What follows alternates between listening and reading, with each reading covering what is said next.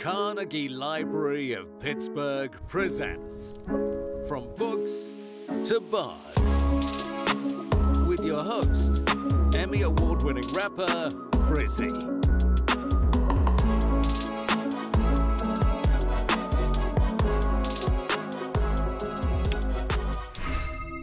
Song in the City. I can hear it. The song in City filled Grandma Jean's ears. She hugged Emmeline. She fought back tears. Mm. Grandma Jean asked Emmeline, is something wrong? No, no, she cried. I hear your song. I can hear it. Bars. And that was another episode of From Books to Bars.